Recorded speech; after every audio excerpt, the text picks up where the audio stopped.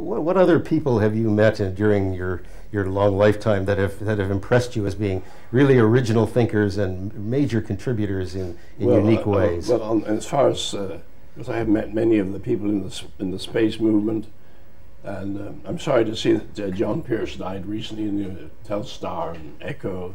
He was a good friend and uh, Bell Labs, you know, and. Um, uh, I've met a good many people in the in the film business, so, and uh, but of course, since I've been in Ceylon, I haven't, as it was then, I still think of it as Ceylon rather than Sri Lanka.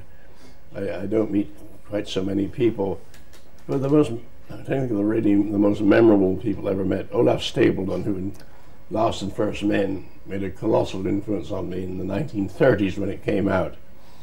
Um, JBS Haldane who um, I met here, the biologist, and um, of course uh, Wernher von Braun. Uh, but uh, as soon as, yes, and of course the astronauts Neil Armstrong, Buzz Aldrin, who was here recently, and um, I guess it's quite a list. I don't bore you with any more names. yeah, it certainly is. Uh, in uh, many years ago, I think the, your film 2001 received an Oscar, maybe more than one. I'm not a film uh, buff. Uh, are there other other plans uh, for for you to film any of your other books? well, um, actually, 2001 received quite a number of nominations, but it only got, I think, one a screenplay award. I'm not sure that. the main awards went to Mel Brooks, the producers that year. Did you ever see the pr producers? I think so. It was a very funny film, but I don't think it's been quite as well remembered as 2001. anyway, I was in a Hollywood restaurant a few years ago, and there was Mel, and so I thought, Mel, you stole my Oscar, you see. And he said, he said, you're a genius, so I was instantly mollified. well, I can't help but notice that the Oscar is in fact yeah, sitting well, behind us. I don't know if the not camera a genuine Oscar. You well, asked we, me if we won't talk about that. Yeah, um, you asked me if I, I have three projects, been, I hope being filmed. Um, Rendezvous with Rama, Morgan Freeman is shortly going to production on that. Um, the Fountains of Paradise, which is based here in Sri Lanka, refers to, uh, specifically Sigiriya, the rock fortress. Uh, I hope that'll be filmed. And um, Childhood's End, at the moment, there's some interest in that too. And um, also Industrial Light and Magic is interested in doing some of my short stories. And uh, so I have quite a few projects, and I only hope they don't all happen at the same time. right. Your, your library behind us, which as far as I can tell is almost exclusively your books. Oh, these are all my books, is yes. Quite, is quite I impressive. don't have them all, of course. I, I at least have one copy in English of everything. I certainly have no, no, actually there's several times uh, in England at Dean Court Clark Ives have a wall full of my books and all that. Quite impressive, I must say.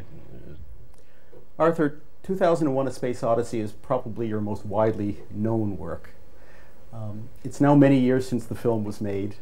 We know a lot more about space. Uh, we know an awful lot more about how to make space-related movies. If you were doing it over again today, how would it be different? I've often thought about this, and in fact, there are practically no changes that we would have made. Um, it uh, stands up remarkably well.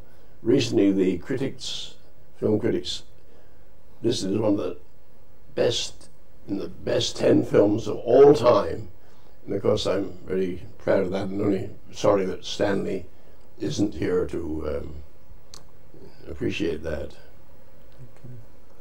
people have often speculated that HAL was really uh, really IBM one letter displaced in each case. Would you care to deny it in front of this crowd? I've been trying for years to stamp out that rumor because it's specifically stated in the book that HAL stands for Heuristic Algorithmic Computer. So just purely, uh, purely coincidence. In fact, if we had noticed that, uh, we'd probably have changed it. I don't know who spotted that first, but it, it's, it's a pure uh, 26 times uh, 3 coincidence. we, we passed, a few years ago, we passed the official birth date of Hal. Did you have any celebration here for the date? Oh, yes. Actually, there were two dates, if I remember because yeah. the movie and the book had different dates. There were two dates, and in fact, I had a live link to, to uh, MIT a satellite link, and my, you know, and uh, uh, some of the people there, you know, were at the other end. And incidentally, Moonwatcher was here recently, you know, throws that famous bone up. Mm-hmm. And I got a photograph of him standing in front of the TV with his, him in his ape suit, and then in real life, uh, in, um, Dan Richter, really sweet guy, he's in I think he's in, into computers now in, in Los Angeles. You know, from from man ape to computer executive in one in one lifetime. You know, of all the things I've done, I guess that's what I'm proud of. People say, "What about the communication satellite?" Well, if I hadn't written that paper in 1945, ten people, including my friend John, late friend John Pierce, would have done it within the next. You know, so it was such an obvious idea. I've suddenly been asked, you know, I saw you didn't patent it. I don't think it was patentable. Patent lawyer has, has uh, written up a piece about that, and I've written it up too in my essay, uh, A Brief History of ComSats, or How I Lost a Billion Dollars in My Spare Time. um, the other thing I'm proud of too, of course, is um, the exploration of space, which came out exactly 50 years ago, 50 years ago this year. And I only recently discovered that uh, Wernher von Braun used that book to persuade Kennedy to go to the moon. Now, again, that would, might have happened anyway, but I'm certainly rather proud of that input. That's not a bad accomplishment to list on your CV. But going back to the 1945 paper, and I understand you were a physicist at that time. Oh no, I've never been. I've never been a real scientist. I was a radar engineer in the Royal Air Force. Ah. But I, I, hadn't even been to university. I didn't go to university until after the war. so you wrote the paper without a university degree? I was uh, a civil servant in the Exchequer and Audit Department. Don't tell anybody. I was a government auditor. But most of my uh, 10 to 5 time was spent reading or writing science fiction. I can admit that now.